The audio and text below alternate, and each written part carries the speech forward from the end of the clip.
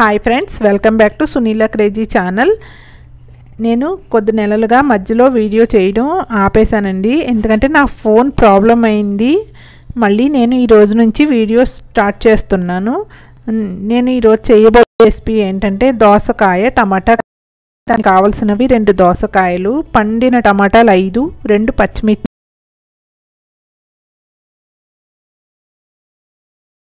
తీసుకున్నాను కదా వాటిని ఇలా చిన్న చిన్న పీసెస్ కింద కట్ చేసుకున్నాను. అలాగే రెండు దోసకాయలను కూడా చిన్న చిన్న ముక్కలుగా కట్ చేసుకున్నా. నేను సన్నటి పచ్చిమిరపకాయలు కదండి అవి స్పైసీ ఎక్కువ ఉంటాయి కాబట్టి నేను రెండే తీసుకున్నాను టమాటాలను కూడా చిన్న చిన్న పీసెస్ కింద కట్ చేసుకోవాలి. స్టవ్ వెలిగించుకుని ప్యాన్ పెట్టి అందులో మనము కర్రీకి సరిపడా ఆయిల్ వేసుకుని ఆయిల్ని కాగనివ్వాలండి. ఆయిల్ కొద్దిగా కాగిన తర్వాత అప్పుడు మనము కట్ చేసి పెట్టుకున్న ఉల్లిపాయ పచ్చిమిర్చి ముక్కల్ని వేసుకుని దోరగా అంటే గోల్డెన్ బ్రౌన్ కలర్ వచ్చేదాకా ఉల్లిపాయ ముక్కల్ని అటు ఇటు గరిటతో కదుపుకుంటూ ఉండాలండి. మనము వదిలేసామనుకోండి ఉల్లిపాయలు నీరు కదా అందుకని తొందరగా అడుగంటిపోతుంది. అలా అడుగంటిపోతే కూర టేస్ట్ ఉండదండి మాడిన వాసన వస్తుంది. అలా కాకుండా మనం జాగ్రత్తగా గోల్డెన్ బ్రౌన్ కలర్ వచ్చేదాకా వేయించుకుంటూ ఉండాలి. అప్పుడే టేస్టీగా ఉంటుందండి కర్రీ.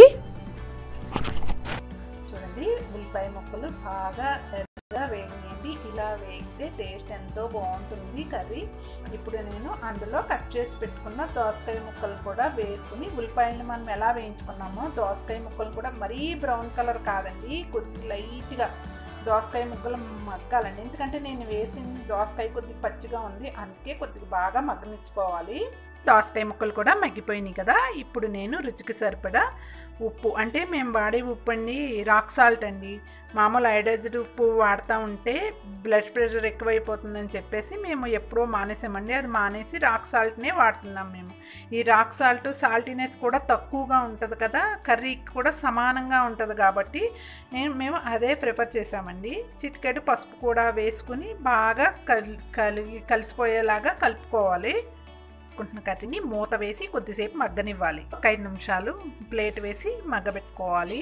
తర్వాత ఒక ఐదు నిమిషాల తర్వాత ప్లేట్ మూత తీసి మనము కర్రీని చూసుకుని కొద్దిగా పచ్చి ఉంది అనుకుంటే కనుక లైట్గా వాటర్ పోసుకుని కర్రీని ఉడకబెట్టుకోవాలండి. అప్పుడు టేస్ట్ బాగుంటుంది. Curry ready. కర్రీని ఒక సర్వింగ్ బౌల్లోకి తీసుకోవాలండి. పసుకాయ కర్రీ మీకు నచ్చినట్లయితే కనుక లైక్ చేయండి షేర్ చేయండి. Please subscribe my channel. Thank you for watching. Video.